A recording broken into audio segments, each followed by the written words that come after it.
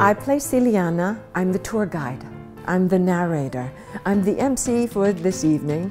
And when you come in, I introduce you to our world.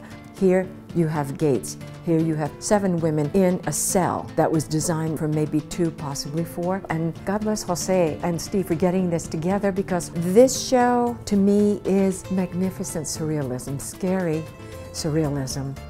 Well, what can be more surreal than to have a beauty pageant in a prison that is falling apart?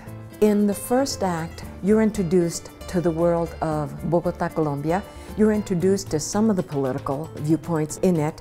You're also introduced to the women. And it gives you a microcosm of these different worlds. Act two goes into the extravaganza itself. It goes into meeting the contestants, the excitement of what that is and what you're privy to, and what you see and what you don't see. Celiana is the one who will share her love with you about her love for the pageant because all the women become beautiful in her eyes. She sees them transform. Celiana gets to witness, like all of you will witness, that transformation. How magical is that? Jose wrote this play and he makes it happen.